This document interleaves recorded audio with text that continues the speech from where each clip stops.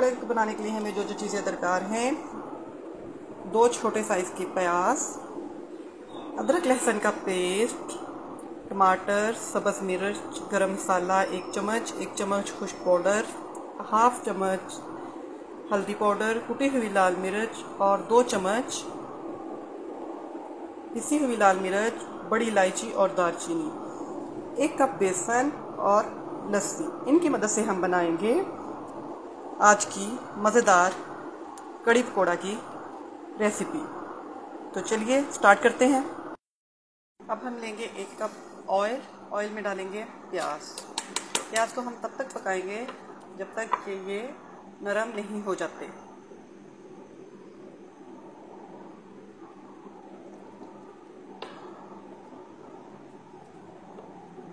जब तक प्याज नरम होते हैं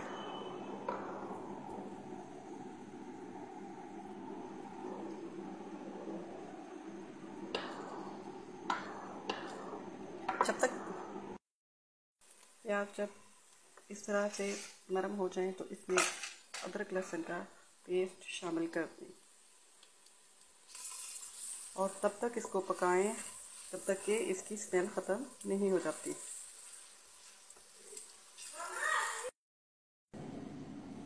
कड़ी तैयार हो रही है। जब तक कड़ी तैयार हो रही है, तब तक मैंने पकोड़े बनाकर तैयार कर लिए हैं।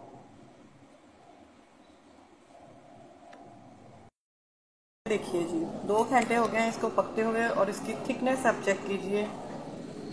इस पॉइंट पर आकर अब हम इसमें पकोड़े शामिल कर देंगे, जो कि मैंने पहले से ही तैयार करके रखे हुए हैं।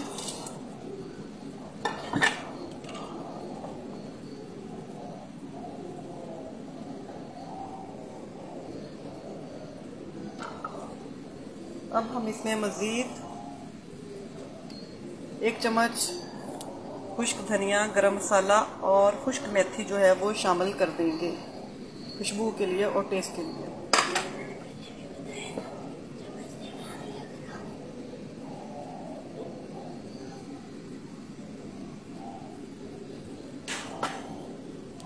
अब हम इसे सब्ज़ धनिए और सब्ज़ मिर्चों के साथ गार्निश कर देंगे।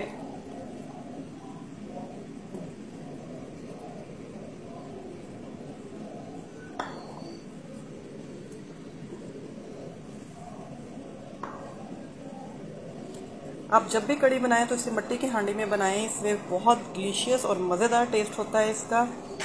बनस्पतन दूसरी कढ़ाई में बनाने से। अब देखिए। ये है जी इसकी फाइनल लुक दुआओं में याद रखिएगा और मेरे चैनल को सब्सक्राइब कर लें।